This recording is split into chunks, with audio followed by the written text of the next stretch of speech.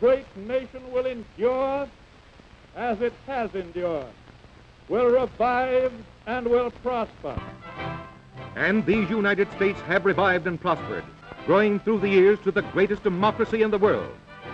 Led by one of its citizens, chosen by its people from the farms, from the towns, from the cities, each vote asserts the constitutional rights of a free people. In the first moving pictures ever to record a presidential inauguration, here is William McKinley as he becomes the 25th President of the United States.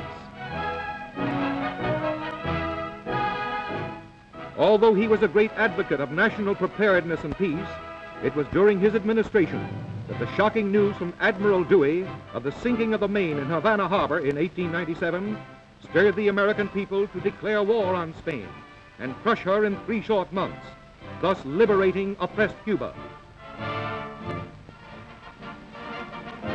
During this campaign, there rose to prominence Theodore Roosevelt and his famous Rough Riders.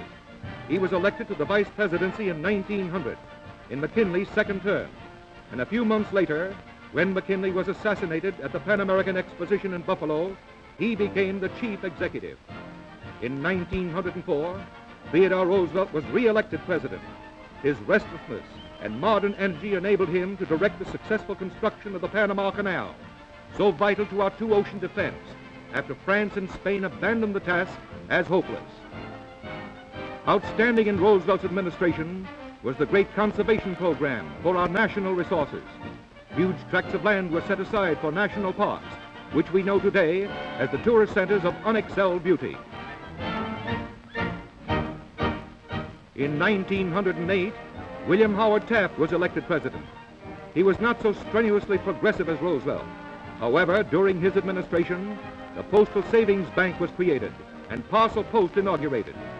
This was a new departure for the government in competing with private industry, banking, and express.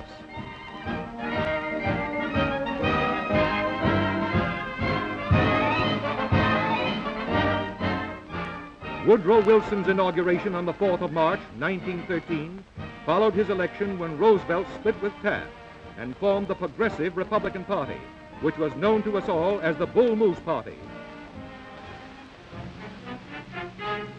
His administration faced rumblings of war in Europe, which threatened the peace of the world. And as the great nations of Europe were in the death throes of battle, in 1916, he was re-elected on the slogan, he kept us out of war. And just five months later, after Germany had declared unrestricted submarine warfare, we were involved in the First World War.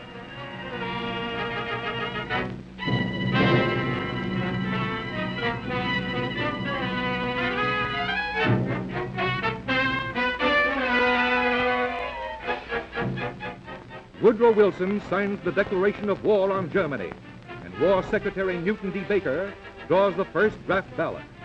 From every rank and file, young America joins the fight for democracy.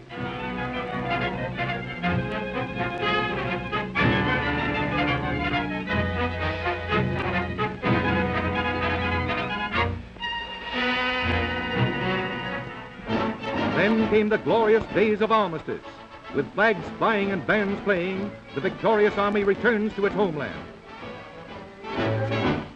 To present his far-sighted 14 points, Woodrow Wilson sailed for Paris. The big four, Lloyd George, Clemenceau, Orlando, and Woodrow Wilson, discussed the fate of their fallen foes.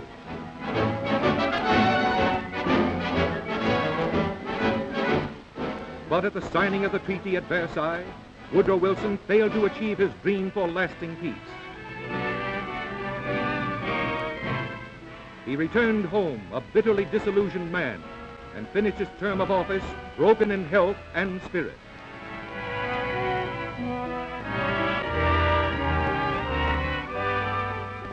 March 4, 1921, Warren G. Harding took the oath of office as the 29th president, and the keynote of his inaugural address was back to normalcy after the hectic World War days.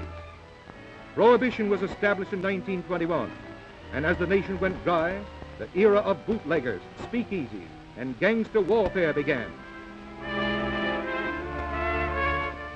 One of the highlights of the Harding administration was the famous Arms Conference.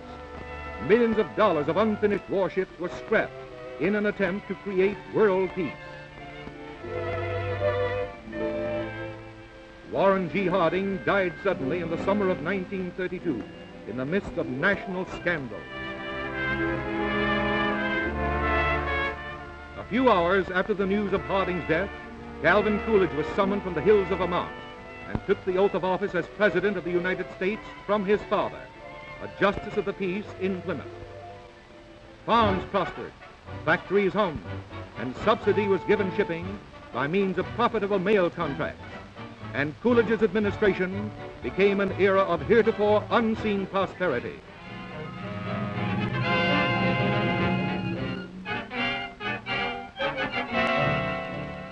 After Coolidge's famous I Do Not Choose to Run, Herbert Hoover succeeded him on March 4, 1929. And by autumn of that year, the Coolidge boom market exploded.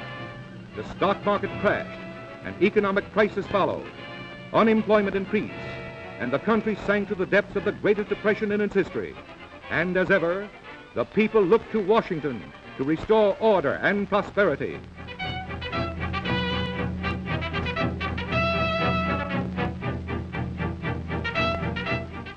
Franklin Delano Roosevelt was elected in 1932, and during a wild panic of bank runs and strikes, on the very day of his inauguration, Roosevelt closed all the banks in the country under an old statute bill.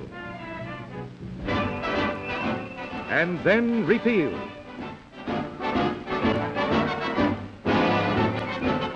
In 1936, Roosevelt was re-elected by the largest electoral majority in history. He faced four years with many problems neutrality.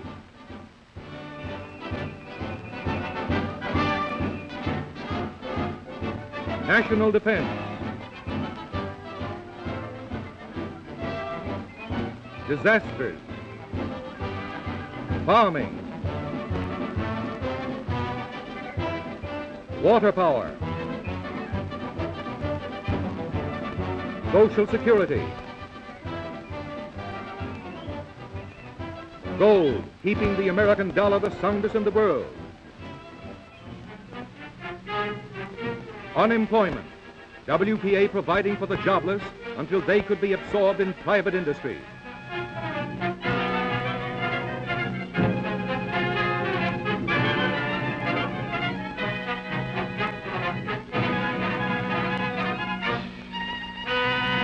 In 1939, the shadow of Hitler's swastika appeared on the horizon to extinguish the light of Europe's democracies. Together with his accomplice, Benito Mussolini, they threatened the freedom of the whole world. Back in the United States, in the cities, mines, mills, factories, and on the farms, America united in the greatest peacetime defense program in all its history and elected Franklin Delano Roosevelt to a third term, its first third term president. And as long as the United States of America enjoys the freedom of its great democracy, Mr. President will come and go. The choice of people, by the people, and